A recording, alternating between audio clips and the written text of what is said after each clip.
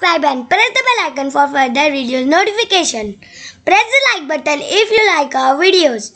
Now, let's start our topic. Simple speech on Gandhi Jayanti. Good morning, respected principal ma'am, teachers and all my dear friends. My name is Riyansh and today we have gathered here to celebrate the birth anniversary of Mahatma Gandhi or Gandhi Jayanti. His 152nd birthday. Gandhi Jayanti is celebrated every year on 2nd October all over the country. This day marks the birthday birth anniversary of Mahatma Gandhi. Mahatma Gandhi was a great leader and a freedom fighter. His full name was Mohandas Karamchand Gandhi.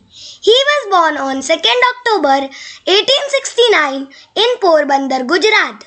Mahatma Gandhi is also known as the father of the nation or Bapu.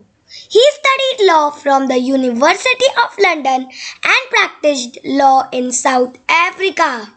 Mahatma Gandhi was a great leader and a freedom fighter.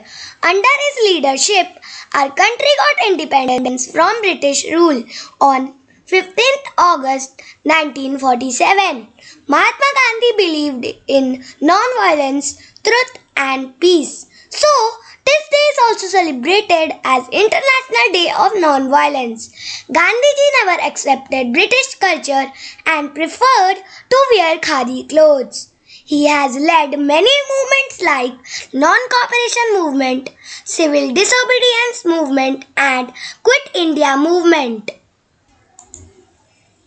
He has put great efforts to remove untouchability and social evils from the society. Gandhi Jayanti is celebrated to remember Gandhiji's principle of peace and non-violence and the contribution made by him to make India an independent country. Every Indian should follow Gandhiji's path of non-violence, peace and truth. I would like to conclude my speech with his great saying Live as if you have to die tomorrow. Learn as you have to live forever. Jai Hind. Thanks for watching. Bye.